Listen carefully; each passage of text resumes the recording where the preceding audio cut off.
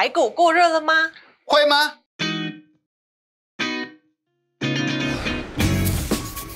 ？Hello，大家好，欢迎收看财经急诊室，我是千涵，今天邀请到轮源投顾陈学进分析师老师好。啊，主持人好，各位投资朋友大家好。台股今天在早盘的时候一度有创下波段新高点呢，不过也有很多财经专业人士表示，哎，台股最近有一点过热喽。那这种警讯众说纷纭呢，到底下一个 Q 二我们要去怎么布局呢？老师？啊，好的，好，那我们可以看到哈，包括啊呃的一个呃外资啊啊的一个机构，或者是啊我们的个金管会。啊的一个主委的一个啊黄天木啊，他也说，哎一万六好像有那么高一点点哈，那大家也都很害怕啊。这个行情我说啊，大家是呃既期待又怕受伤害。对，啊那期待啊股市还能够呃延续这个多头行情，但是怕受伤害就是说啊怕说啊股这个指数来到这个地方啊会不会啊到时候突然之间的一个反转的一个下杀拉回来啊？那我想在这个地方啊大家啊大可啊放心，为什么我这么说？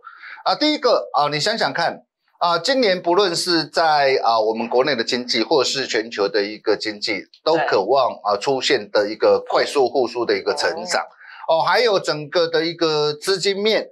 啊，in 卡巴全球的资金 in 卡巴啊都没有改变。啊，所以啊，到目前为止，虽然指数涨多啊，那指数涨多并不代表说呃指数会崩跌啊，这是啊两个截然不同的一个情况啊。只要没有出现泡沫化的一个危机。哦，那我可以呃跟大家说，哦，这个行情还渴望延续的一个多头金金涨的走势。嗯，哦，那当然了，股价啊指数已经累积一大波段的一个涨幅了哈。那累积一大波段的一个涨幅之后，你说在这个这个时候要像过去那样哇，一下子再涨个两千点、三千点，甚至四千点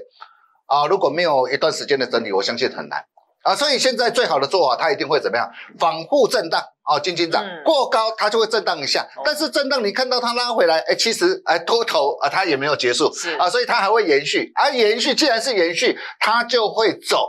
个股轮动，嗯，哦，所以我们从呃最近的盘面上，我们很清楚可以看到，啊，从整个的一个驱动的一个 IC 啊的一个天域开始揭开多头轮动的一个精彩好戏开始，哦，天域，然后再来包括的一个这样，紧接着啊敦泰，啊普成，哦，那甚至再到的一个这样啊联勇，哦，那这些都是一棒接一棒。哦，然后再到的一个这样网通的一个 IC 的一个设计啊的一个雅信，因为在啊整个的一个莲花科的一个入主啊，所以雅信最近飙涨的很凶哦，再加上的一个先进光啊跟大力光的一个官司的一个和解啊，所以你会发现哦，最近这些的一个业内的一个法人啊或是大户啊，啊，其实他们在这个地方啊偏多的一个心态是呃昭然若见啊，非常的一个积极呀哈。哦，那你会发现呢，这个好戏哦还在持续当中。哦，包括电源管理 IC 的一个这样啊的一个茂达。哦，那茂达大涨上来之后，你会发现，哎，最近的一个 Mosfet 的一个接力又开始接棒了。哦，那从 Mosfet 的接棒之后，再到这个洪家军，哇，表现最强的就是什么？正达，嗯，哦，那甚至华人说，哇，正达今年有渴望力拼转型啊，包括三 D 的一个车用三 D 的玻璃，哦，包括的一个绿建材，对，哦，那甚至呃预期在明年哦有机会哦挑战一个股本。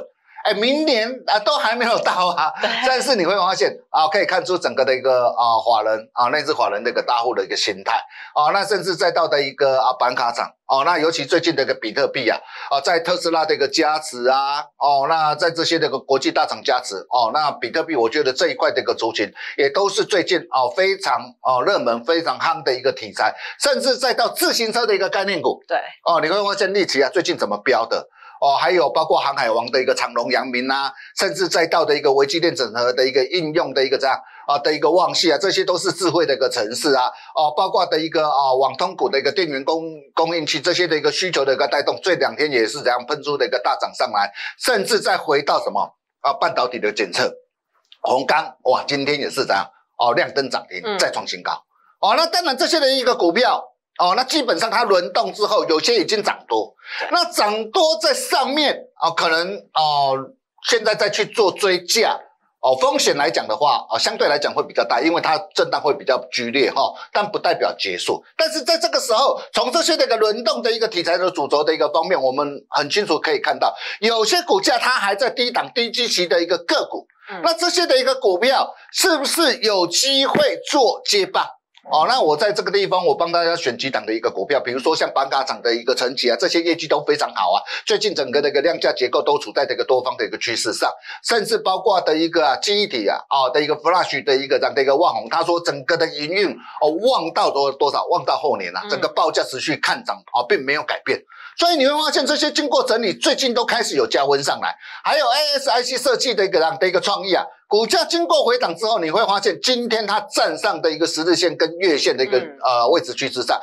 也代表说这一波的一个拉回，它的一个打底。哦，在这个地方也渴望哦，正式做一个结束，甚至再到的一个设备股的一个加登哦，你会发现这些的股票都哦慢慢的一个加温上来，甚至再到的一个这样啊，感测元件的一个镜像光，嗯，哦，那这些经过的一个主体过后啊，未来有没有机会哦，再到的一个航运股的一个这样，从啊货柜到散装。哦，你会发现都是呃整个的一个轮动都是一棒接一棒啊，好，那当然除了这些的一个股票之外，那呃四天就是年假了嘛，哈，那在年假我也会特别准备一份大礼，哦，那这份的一个大礼我也会在我们的一个 Nine 的或 Telegram 啊跟大家无私分享，谢谢大家，谢谢老师的分析，想要知道更多财经最新消息，欢迎加入老师的 Light 跟 Telegram 财经简讯，我们下次见喽，拜拜，拜拜。